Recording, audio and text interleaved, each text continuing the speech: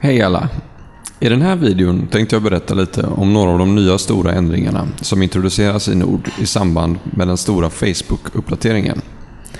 Den allra största ändringen är att vi helt och hållet har bytt ut Nords gamla karaktärssystem med ett sprillans nytt sådant, där man har mycket mer möjligheter att vara kreativ med sin karaktär.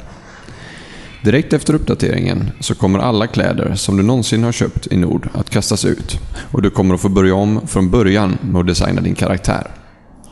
Alla Nordmynt du någonsin spenderat på kläder i Nord kommer du få tillbaks. Dessutom, för att alla ska få en chans att leka och ha roligt med de nya kläderna så kommer vi vid uppdateringen att ha en fet rea på alla klädesplagg. Passa på att skaffa kläderna då. När rean är slut så kommer priserna att fördubblas. När du kommer in i Nord efter uppdateringen så är det första du behöver göra att snygga till din karaktär lite. I det nya systemet så finns det ett gratis grundutbud av kläder som direkt hamnar i garderoben. Utöver gratiskläderna så kan man även välja lite andra grejer som hudfärg och huvudform. Men alla spacade grejer finns naturligtvis i köpa kläder-fliken. Med det nya karaktärssystemet så köper man kläderna direkt i fliken, inte genom Ockelboda. Alltså kommer du kunna köpa kläder när och var du vill efter uppdateringen. I det nya karaktärssystemet finns det massvis med nya häftiga grejer att välja från. Man kan ha glasögon, skägg, tatueringar, man kan till och med välja ögonfärg.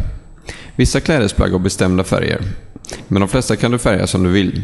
Här ställer du in vilken färg du är sugen på. Här väljer du färgstyrkan och här nere väljer du hur ljust eller mörkt du vill ha plagget. För att sedan köpa plagget så klickar du på köpknappen. Då hamnar det direkt i din garderob. Så du kan bläddra dig till det igen när du vill. Kom ihåg att alla kläderna är på rea vid uppdateringen och att vi kommer att dubbla priserna så fort rean är över. I samband med att vi bytt ut karaktärerna så har vi även byggt om hästarna så att de ser lite mindre ut som förkrympta åsnor. Alla hästar ni har kommer finnas kvar, men de har bytt stil, så var beredd på en liten förändring där. Vi har även lagt till ett par riktigt feta hästar med lite större muskler och lite mer power. En annan förändring med hästarna är att de inte längre har ett levelkrav för att få köpa dem. Detta gäller för alla husdjur och fordon. Väldigt många saker som man var tvungen att betala för förut kan man nu få helt gratis, bara man har ett tillräckligt stort Nordteam. Många saker i Nord är begränsade efter hur stort Nordteam du har. Ju större Nordteam du har, ju fler grejer kan du skaffa dig. Även bygränsen är nu styrd av hur stort Nordteam du har. Nordteamet är alla spelare som du är kompis med i Facebook, som även spelar Nord. Var femte level som någon i ditt Nordteam klarar av ger dig och alla andra i hans Nordteam en så kallad teambonus.